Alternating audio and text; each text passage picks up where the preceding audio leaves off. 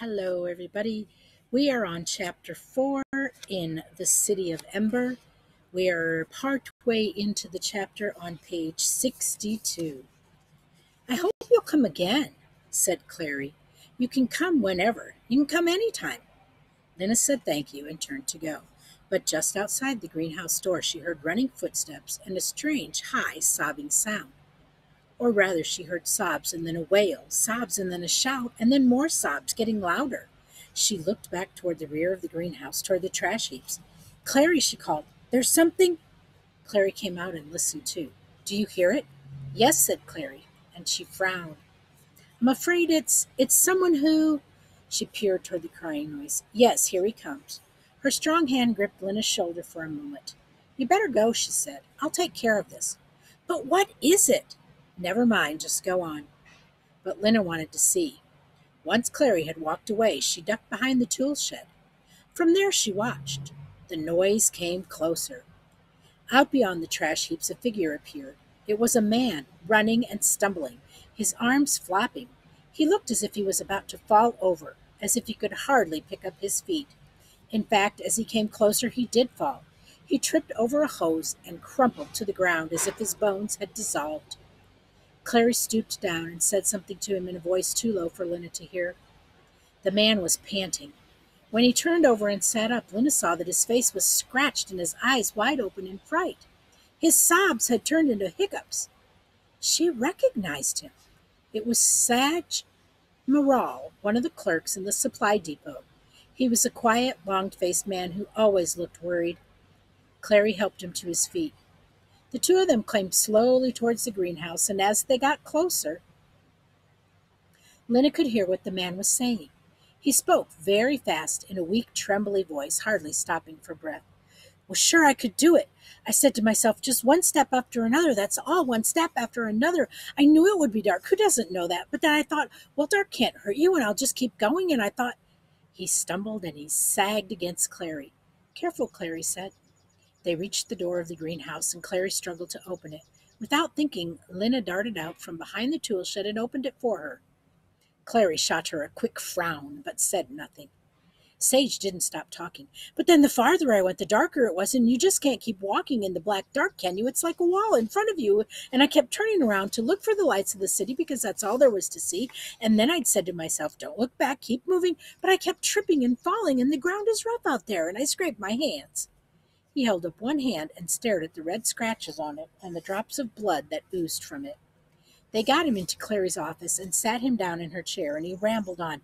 Be brave, I said to myself. I kept going and going, but then all of a sudden I thought anything could be out here. There could be a pit a thousand feet deep right in front of me. There could be something that bites. I've heard story rats as big as garbage bins, and I had to get out of there. So I turned around and I ran. Never mind, said Clary. You're all right now. Lina, get him some water. Lina found a cup and filled it from the sink. Oh my goodness.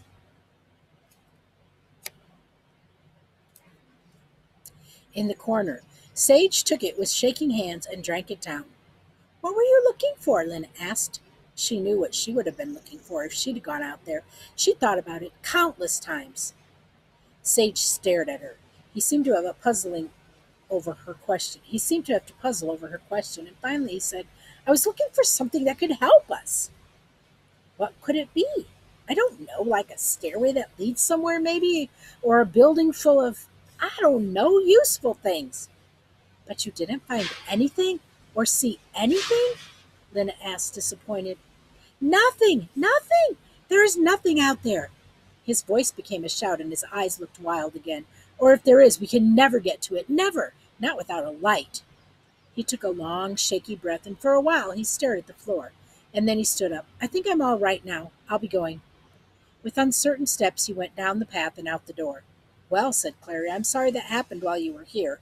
I was afraid you might be scared. That's why I told you to go. But Lina was full of questions, not fear.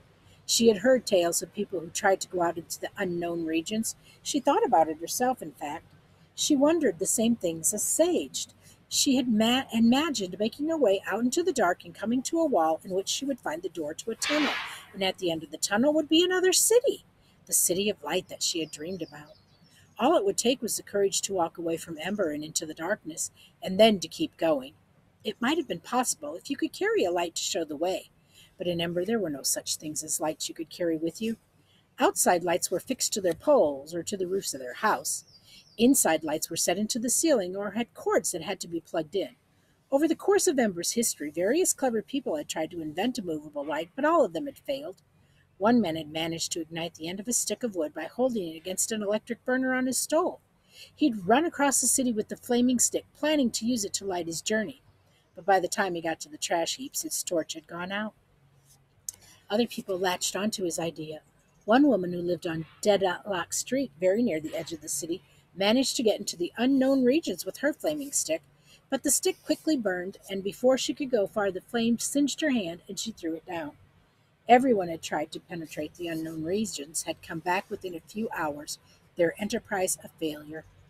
Lina and Clary stood by the open door of the greenhouse and watched Sage shuffle towards the city.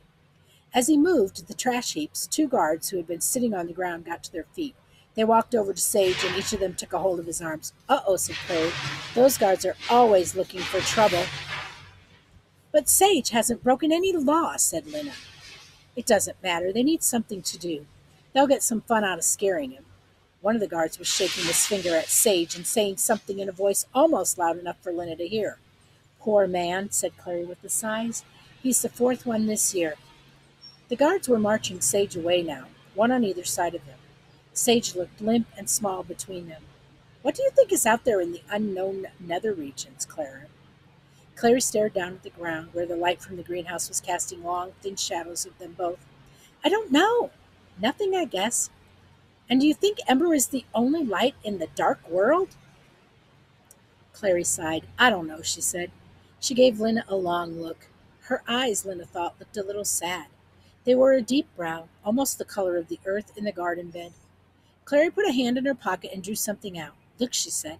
In the palm of her hand was a white bean. Something in the seed knows how to make a bean plant. How does it know that? I don't know, said Lina, staring at the hard, flat bean. I know because it has life in it, Clary said. It knows because it has life in it, Clary said. But where does the life come from? What is life? Lina could see that the words were welling up in Clary now, and her eyes were bright. Her cheeks were rosy. Take a lamp, for instance. When you plug it in, it comes alive. In a way, it lights up. That's because it's connected to a wire that's connected to the generator, which is making electricity. Though don't ask me how. But a bean seed isn't connected to anything. Neither are people. We don't have plugs and wires that connect us to generators. What makes living things go inside them is inside them somehow. Her dark eyebrows drew together over her eyes. What I mean is, she said finally, something is going on that we don't understand. They say the builders made the city, but who made the builders? Who made us? I think the answer must be somewhere outside of Ember. In the unknown regions? Maybe, maybe not. I don't know. She brushed her hands together in a time to get back to work way. Clary, said Lina quickly, here's what I think. And her heart sped up. She hadn't told this to anyone before. In my mind, I see another city. Lina watched to see if Clary was going to laugh at her or smile in that overly kind way. But she didn't, so Lina went on. It isn't like Ember. It's white and gleaming, and the buildings are tall and they sort of sparkle. Everything is bright, not just inside the buildings, but all around them, too, even up in the sky. I know it's just my imagination, but it feels real, and I think it is real. Clary said, Hmm. And then she said, Where would such a city be? That's what I don't know or how to get to it. I keep thinking there's a door somewhere, maybe out in the unknown regions, a door that leads out of Ember, and then behind the door is a road. Clary shrugged her shoulders. I don't know, she said. I have to get back to work, but here, take this. She handed Lina the bean seed and took a little pot from a shelf, scooped some dirt into it, and handed the pot to Lina, too. Stick the bean in here and water it every day, she said. It looks like nothing, like a little white stone, but inside it, there's life. That must be a sort of clue, don't you think? If we could just figure it out. Lina took the seed and the pot. Thank you, she said. She wanted to give Clara a hug, Clary a hug, but she didn't, in case it would embarrass her. Instead, she just said goodbye and raced back toward the city. End of chapter